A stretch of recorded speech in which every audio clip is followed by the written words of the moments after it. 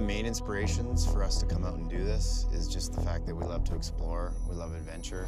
We all want to get out here and find new riding and push the limits. I think that there's a need to bring natural terrain and the mountains back into mountain biking. We spent the last three years searching the planet for these unique landscapes.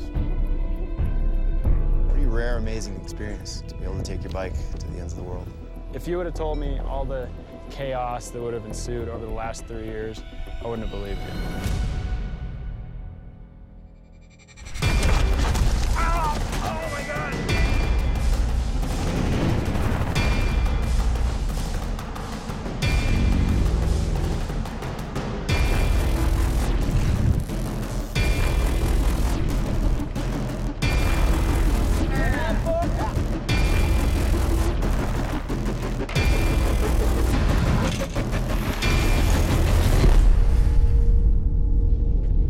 Never running this place before. That's a pretty cool feeling, you know, because you're out there and you're like, dude, look at this line, you know, I'm probably the first one hitting it and I'm probably gonna be the last.